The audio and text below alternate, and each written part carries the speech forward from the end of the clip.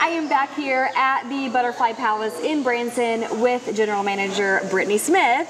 So it's a beautiful day at the Butterfly Palace. Yes, it is. It always is. Yes, that's true, year round. yes. And so this summer, yeah. you guys, um, of course, have great things going here at the Butterfly Palace, mm -hmm. but just walk people through kind of the experience mm -hmm. whenever they come in the front door.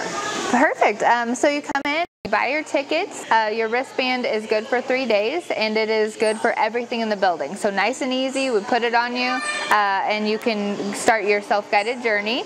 Um, so we have the mirror maze, we have the critter center with reptiles and amphibians, we have the movie, the butterflies, and the banyan tree maze.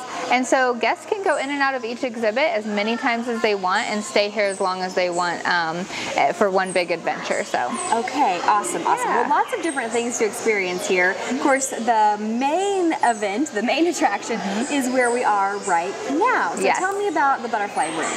So the butterfly room is filled with uh, live tropical plants and over a thousand live tropical butterflies. We import them from their native countries. And we have some little birds in here. There's a waterfall.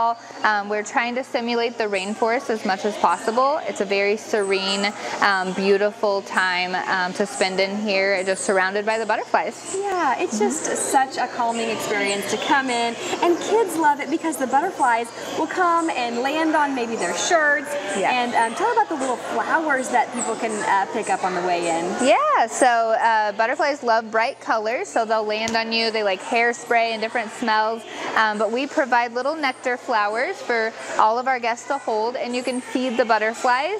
Um, so that brings the butterfly to you and you can just hold the flower and watch it eat and interact and get your photos. So I love that. Yeah, yeah, it is a very interactive experience with the butterflies because they are so friendly. They come up and you get to see all their different colors and it's just such a fun experience. Yeah, it's very interactive and uh, something you can't get anywhere else. So Yes, exactly. And so explain to folks how the butterflies get here. I know they're actually from the rainforest. Yes, they are all rainforest species and they're imported in the chrysalis stage. You'll see a receiving room um, over here where you can see hundreds of different chrysalids, um, newly emerged butterflies. Then we bring those butterflies out here and we let our guests help release them for their first flight, which is a neat experience.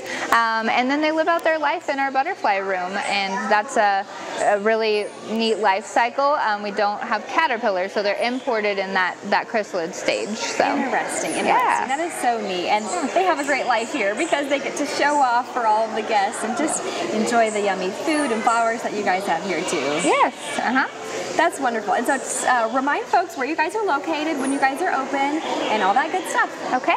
Uh, we are on West Highway 76, right off the strip on your way to Silver Dollar City. You can't miss us, so high up on the hill.